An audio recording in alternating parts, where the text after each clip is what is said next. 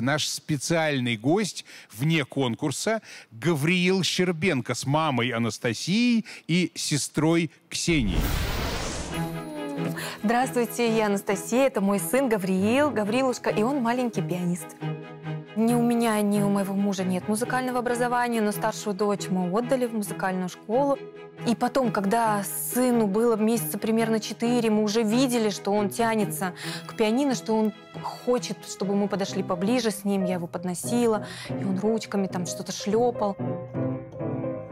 Потом он берет всеми пальчиками в двух руках. Одной музыку ведет, другой э, какие-то аккорды еще берет. Честно говоря, а у меня мурашки, конечно, но я думала, это только мои материнские мурашки.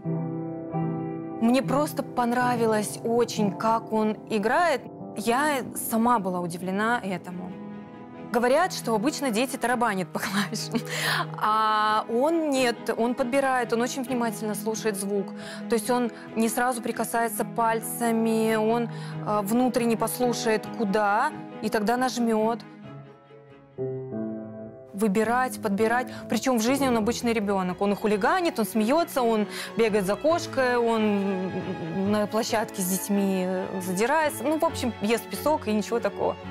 Мы бы, конечно, хотели услышать совет, а нужно ли как-то развивать, можно ли в этом возрасте развивать музыкальные а, способности Гаврилушки, и поэтому открыты для советов.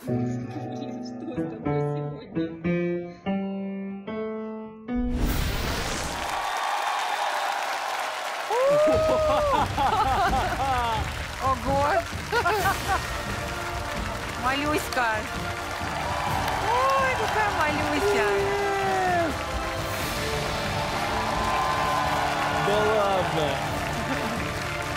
Смотри, Здравствуйте, Анастасия. Здравствуйте, Ксения. Здравствуйте. Здравствуйте, Гавриил. Вот, ну, я так понимаю, мы Гавриилу интересны значительно меньше, чем фортепиано. Да.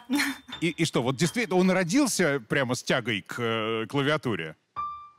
Тут сложно разделить, потому что моя старшая дочь, она играет на пианино, и мы э, с мужем замечали, что он еще в животе реагирует. А потом, когда он родился, то мы его подносили к клавиатуре, и он прикасался, потом стал сидеть на ручках у дочки, пока она занимается. Гавриилу сейчас-то сколько? Полтора года. Полтора. Да. Это поразительно, потому что даже родители Вольфганга Амадея Моцарта обнаружили его феноменальные способности все-таки в три года. Послушаем маэстро, давайте его послушаем, он что-то Давайте играет. послушаем.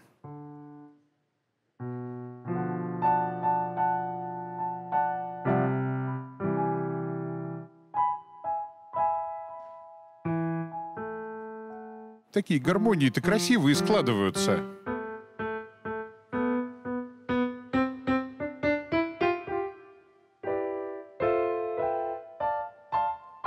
Ой, какая секвенция диатоническая красивая. Прям пошла.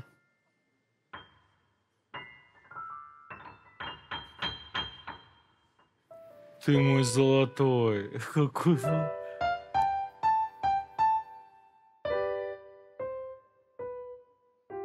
Э, Это как-то просто само собой у него происходит, либо вы с ним уже занимаетесь, э, Ну вот- показываете ему, что делать, либо это он интуитивно просто сам чувствует. А, так. ну вот смотрите, хотелось бы тут совета получить, потому что мы с ним не занимаемся совсем.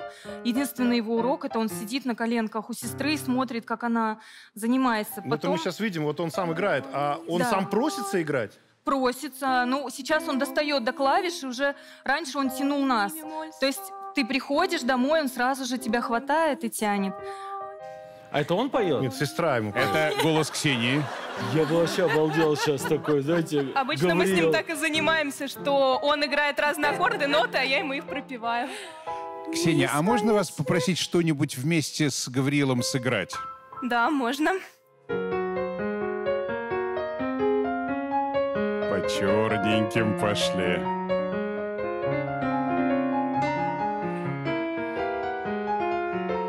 Ага. Добавляет джаз. Политональность джаз. называется, да, это у французов. Да. Когда здесь по черненьким, то тут надо по белым, чтобы было.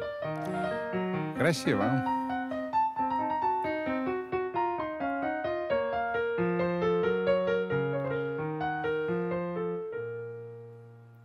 Браво! Ксения и Гавриил.